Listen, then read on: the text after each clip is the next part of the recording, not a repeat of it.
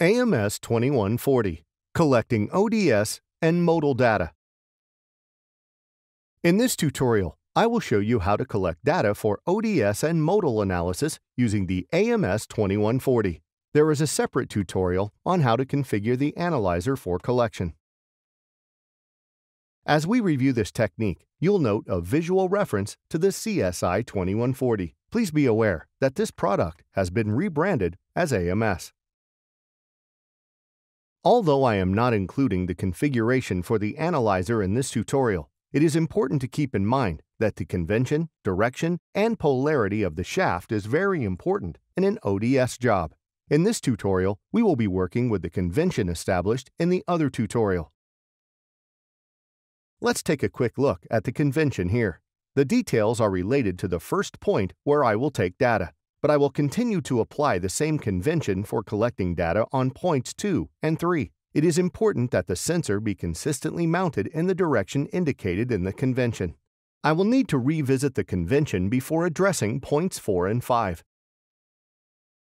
Starting from the home screen of the AMS 2140, I selected F12 ODS modal, and immediately I see the job I have previously configured. I will start my machine and begin collecting data by selecting F1 Start. After the data is collected, note the labels for reference 1x and response 1x. Here you see the reference spectrum, the response spectrum, the coherence plot, and the phase plot. To view additional plots, I can select F6 Switch Plot Type, and as usual, I can select from a variety of plot types. Going back to the plots for point 1x, I can select F2 Next Response Input to see data for axis 1y and 1z. When I press Enter, I am finished with point 1, and I am ready to move to point 2. I move my sensor to point 2 and select F1 Start to collect data. I can review this point in the same way as I did with point 1. Again, I use F2 Next Response input to scroll through responses 2y and 2z. Now I will collect data on point 3. Now that I am at point 4, I need to rotate my sensor and change the polarity in the convention. Because x and y have now changed directions, I will now have a negative x and negative y, but my point z remains the same. This means I will have to change the polarity to negative for x and y in the analyzer. From the 4x screen, I select F3 Change Sign, making it negative 4. Then I select F2 to toggle to the y-axis and use F3 to make that negative also. Now I am ready to collect data.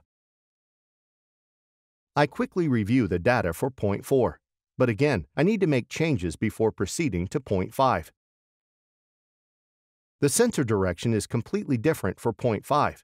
Your channel A has to be associated with Y, while channel C is now associated with negative X.